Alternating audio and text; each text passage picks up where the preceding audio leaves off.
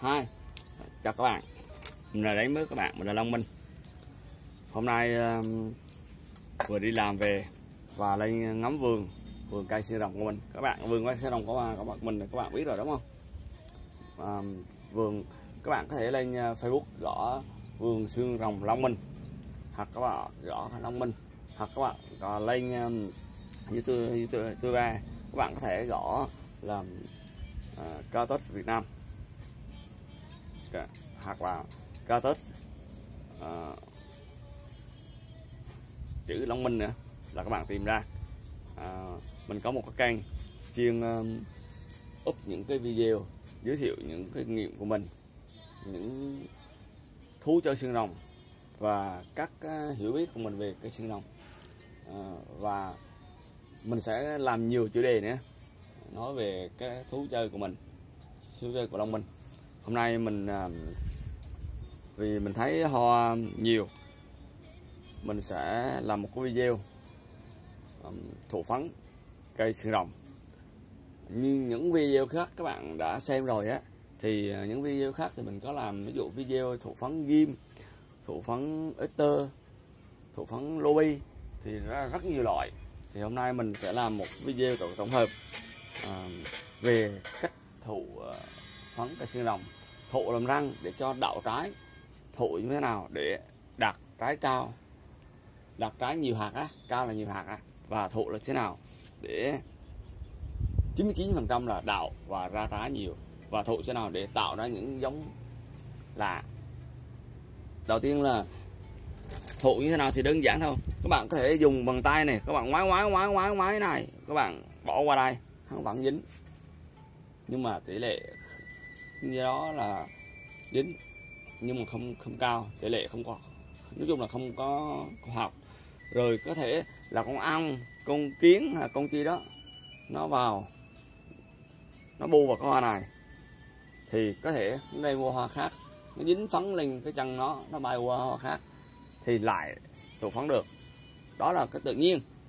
Hoặc là gió cơn gió nào thổi ví dụ như gió nào thổi ờ, bay bay phấn này ngoài tự nhiên thôi. Nó bay phấn cây này qua cây khác hoặc là cây tự thụ. Một số cây nó tự thụ hết các bạn. Nhưng mà vì răng mà tự thụ mà vì răng mình phải thụ vì răng mà thụ tự nhiên. Thì tự thụ á thì số cây nó có khả năng thụ nó cao à, là phấn nó tự thụ với nhau được. À, đặc tính nó có sẵn rồi. Còn một số cây á, là gió thổi ngoài tự nhiên là gió thổi là con vật nó làm ra. Thì vì đó mà các vườn các nhà nghiên cứu các bạn mà chơi lâu năm các bạn thụ um, tìm ra giống mới. Ví dụ tìm những cái, những cái dây cái yếu tố ví dụ yếu tố là cây chống bệnh tật này cây hoa đẹp này cây phôm to cây nói chung là mỗi người có mỗi sở thích. Và tạo ra ví dụ như cây ester. Cây cái cây á nhiều bạn nhiều bạn nhìn uh, mới sơ. Nghĩ cái tơ là cái tơ cái trô là cái trô không phải các bạn. Ether Etro là cùng một họ. Etrophytum Ether là cái tơ. Còn các loại khác cái loại như này là cây Ether à, Etro Etrophytum là Etrophytum cũng có nhiều loại. Giữa rum này hay là cái ờ, uh, um, Kiko này hay là Fugio này hoặc là cây super à, cây cây ester là có cái súp cây Canacodum này cây super carbo này cây này da tím nè. À, có rất nhiều loại các bạn. À, mình vừa mình thì nhiều loại rồi mình chơi rất nhiều. Hoặc cái ghim ghim là có cây ghim này cái ghim ờ, ghim này là ghim miha này um, lem này va đó các bạn. Ghim này ghim ghim ờ, fresh vd nè ghim này ghim việt nam nè. Nói chung là cây ghim này ghim da, da tím ghim văn này. Nói chung rồi hoa hoa và các bạn cứ nhìn đi. Hoa cái này hoa to này. Cánh có có cánh tím ở trước này. Hoa này hoa tím này hoa nhỏ này. Hoa này hoa vàng này. Hoặc là cây um, ester Etro là ví dụ các bạn nhìn cái cánh nào đây khác này. Cánh này khác này. Cánh này cũng khác này. Cánh như cái này á trong cái nhị nó có thêm cái màu tím ở trong. Các bạn thấy nó khác không? Nó khác những cây khác.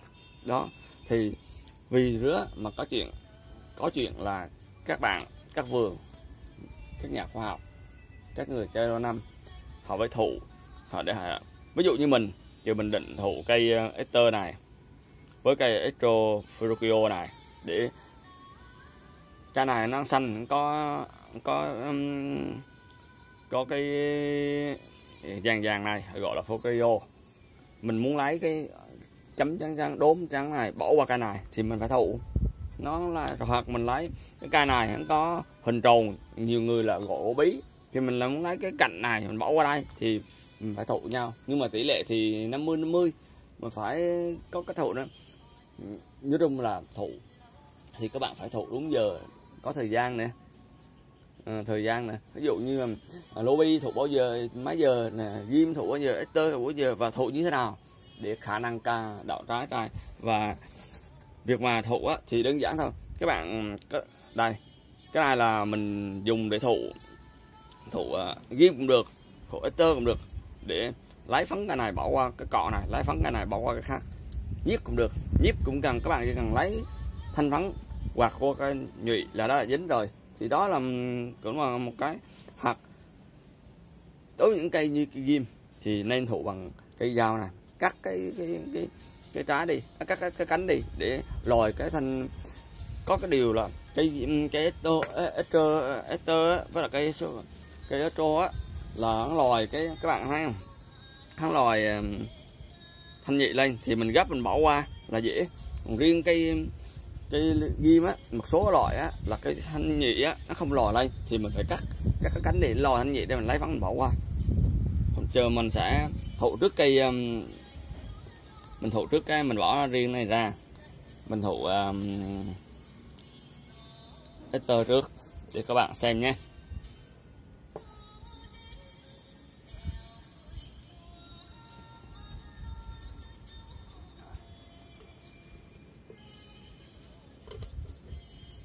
Ví dụ mình muốn thụ à, mình thụ muốn thụ mình muốn lấy phấn của cây um, cây ester này mình thụ qua cây um, Tokyo, cái Estro mình lấy phấn đây, mình lấy phấn và nó phấn nha đó, các bạn thấy mình lấy phấn không? Và mình quạt vào cái thanh nhị là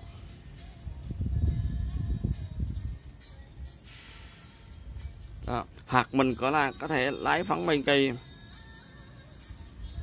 cây um, cái Estro này. Mình quạt vào cây Ester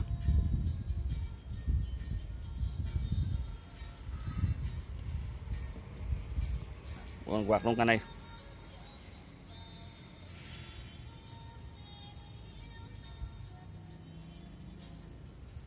Nếu các bạn muốn kỹ đó thì các bạn có thể à, nếu bạn nào kỹ đó, thì có thể chọt cái nào vào đó nó dính vào trong đó. Rồi thì các bạn có thể cũng thể là lấy cái phấn của cây này đó.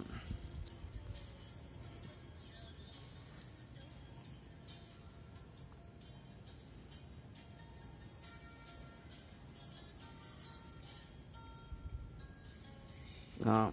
đơn giản không các bạn. Và mình muốn lấy phấn của cây này, mình thuộc qua cây này. Thì cũng rứa, mình cũng lấy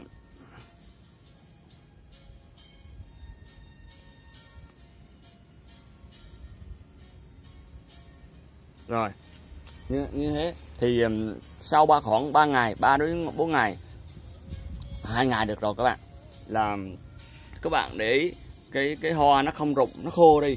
Khô nhưng mà không rụng khô và rụng khác nha khô á nếu mà cây hoa nó có trái không đạo á là nó nó khô đi. Nó khô đi nó tự và nó, nó có bụng.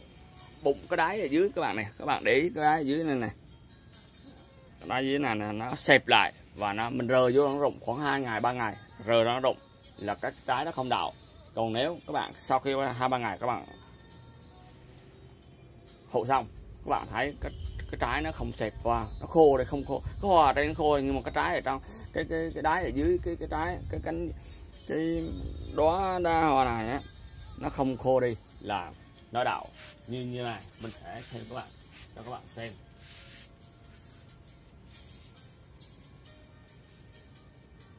Như trái này là nó đã đảo. Các bạn thấy không?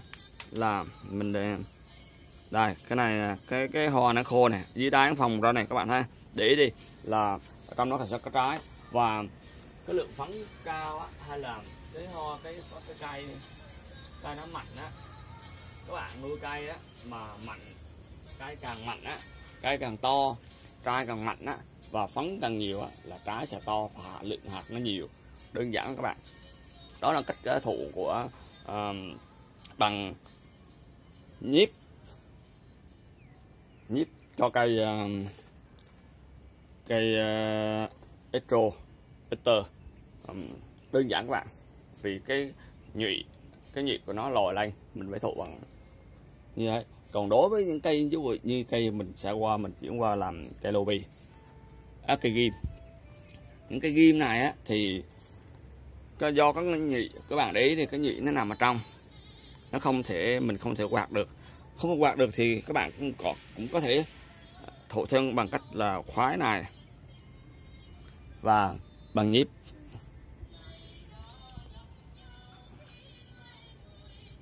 Khoái này hát cục đạo. Nhưng mà uh, vì nhiều người uh, sau một kinh nghiệm của nhiều người học được của nhiều người thì uh, các bạn nên cắt cánh mình uh, mình cắt cánh cho các bạn xem các bạn nên cắt cánh mình sẽ cắt cánh nha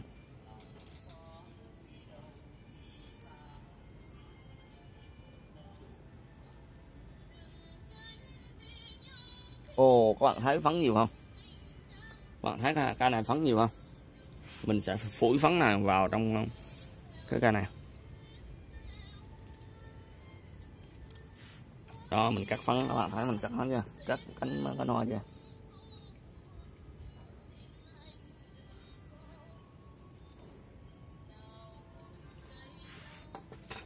Đây, sau mình cắt nên cắt một nửa các bạn để phải phần để dành cái phấn lại để thụ qua cây khác ngày mai cây khác nữa thì mình để phải dành mình thụ thì mình sẽ cắt cây này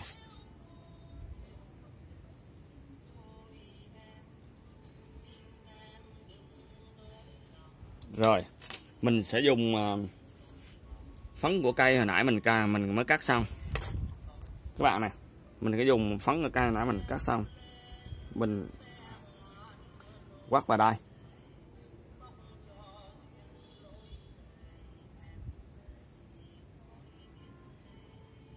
Đó, mình quát vào cái thanh nhị các bạn. Thấy mình quát cái thanh nhị chưa? Và mình để phấn này, mình để quát qua phần này. Mình quét qua phần này.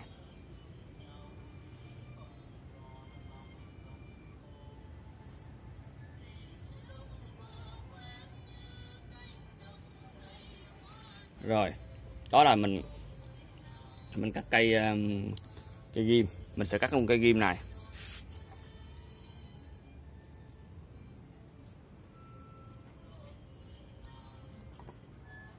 Mình để phần phấn này mình cào mình thụ qua cái kia.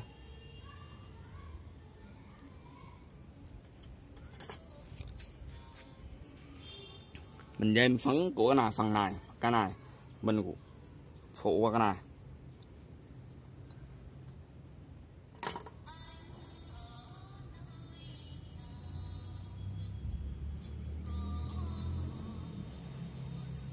Đó, các bạn thấy không? Và sau đó, mình sẽ thụ phấn của cây cây cây hoa tím đó, mình thụ qua cái này. Các bạn thấy phấn bay không?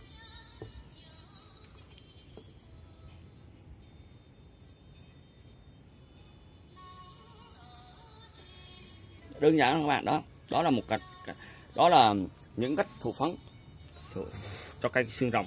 Dùng cho các bạn dùng cho cây lô cũng được. Lô các bạn dùng um, cọ um, Ester, Estro các bạn dùng nhíp và cọ cũng được. Và ghim thì các bạn dùng cọ cũng được.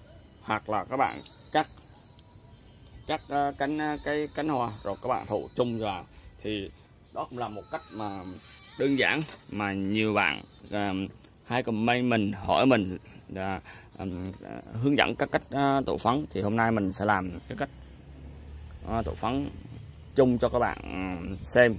Và đơn giản các bạn xem mà các bạn có thể um, hướng, hướng dẫn cho người khác và các bạn có thể chia sẻ cái video mình cho nhiều người khác để các bạn um, biết cách thụ và làm sao để thụ cho chính xác đạo và ra nhiều cái dòng mới.